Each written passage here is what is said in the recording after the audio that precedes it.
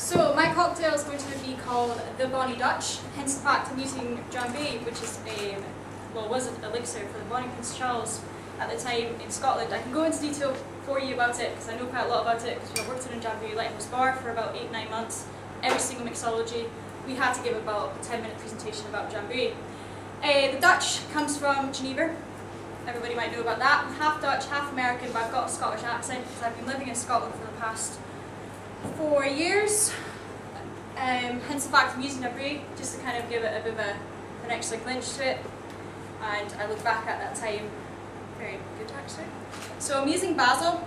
Uh, basil and Drambuie go well, quite well together because Drambuie is made with um, honey, but it's also made with quite a lot of herbs.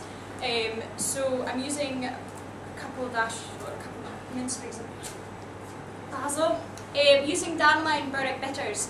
Dandelion bitters have got quite a lot of herbs in it. It's a product that Adam gave to me after the Havana competition, whereby I got third, and I've got no idea why, because I couldn't even speak that night, because someone got me super smashed, and I blame Adam for that. So a couple dashes for that. Um, I'm using one and a half shot of Drambuie.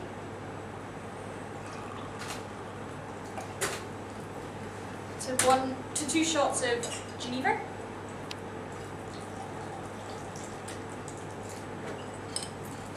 Then I'm using a bit of uh, citrus in it, just to bring out the, the freshness of um, Geneva and it, Drambuie's got quite a bitey aftertaste, but it's made with um, a couple of um, orange peels, so it brings out a little bit of orange peel in this a bit too.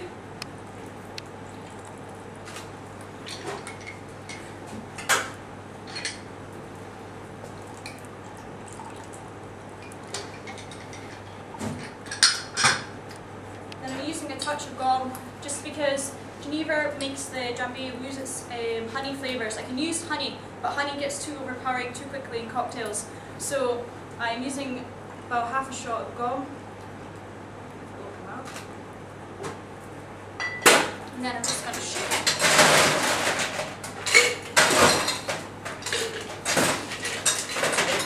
It's been a while since I've been in a bar, so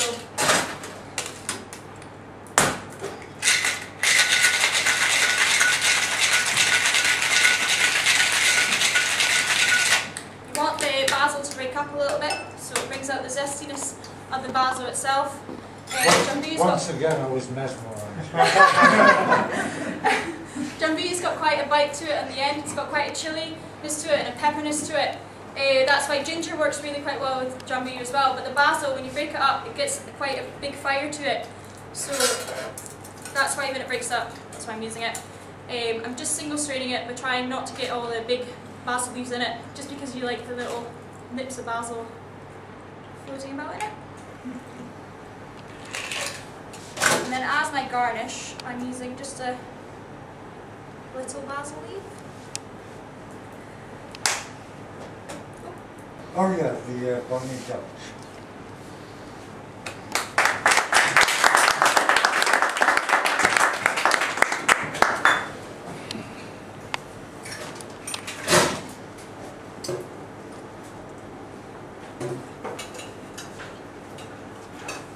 This um, this drink for me is a total surprise. I don't think that, that those ingredients should work, and they work fabulous. Drambuie's kind of a forgotten product. Um, that's because I worked in a Drambuie like this bar. Um, a lot of people don't like Drambuie because they immediately associate it with the whiskey. A lot of people don't like the taste of whiskey, even Scottish people. But when you're trying to like upsell Drambuie as much as you can, you try to bring uh, products together that you normally wouldn't put together. Drambuie tequila, try it. Make a Drambuie tequila smash, try it. Absolutely gorgeous. You'll upsell that quite a lot. Um, yeah, so it's a great product. Uh, no, I mean, for me, way too much Drambuie, Okay. but not in the finished Okay. product. When I was watching, it's like, too much, too much. Basil, I mean, I knew it worked because I tasted Yeah. it down there, but still, my mind was like, how is the basil going to play in here? I'm not sure what the dandelion and burdock bitters did, Okay. but I tasted them on their own, they're pretty fabulous. I think that's just one of those, it's the kind of drink that I personally could not conceive of, but I think it worked really, really well, and the presentation was great. Okay, thank you.